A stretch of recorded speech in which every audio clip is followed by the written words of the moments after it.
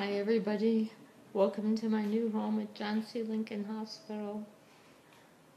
I came here last night because my caregiver thought I was having a stroke. So we came to the ER and went through a bunch of tests and, and they admitted me. And now I'm in the hospital waiting for more tests. The good news is they did a CT scan last night and they can't find any sign of a stroke. But they're, they keep trying. Um, but they talked to a neurologist last night, and he said that he believes this is an, another MS attack.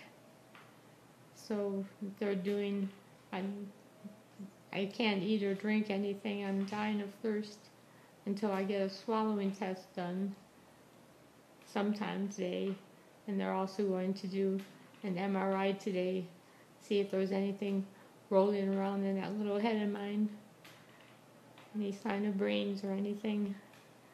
So I'm just going with the flow here and trying not to worry too much about what, what they're finding.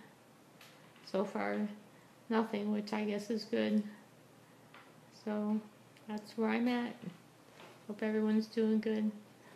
I'm hopeful they'll find good things and not bad things when they run all these tests.